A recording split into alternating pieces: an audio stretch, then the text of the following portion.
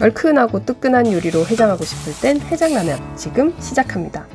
팬에 식용유를 두르고 대패 삼겹살을 대충 잘라 넣어주세요. 불을 켜고 대파도 숭덩숭덩 잘라 넣어주고 달달한 양파도 넣어 볶아줍니다.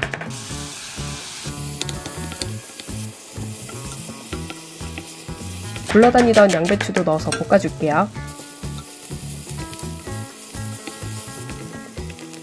한쪽에다 간장을 살짝 데워 불맛을 내줄 거예요. 고춧가루 한 큰술 넣고 볶아주다가 물과 라면 스프를 넣고 끓여주세요. 라면도 넣고 보글보글 바글바글 끓여줍니다. 꼬들꼬들 대파 송송 썰어 데코로 올려주면 추울 때 생각나고 해장이 그만인 해장라면 완성!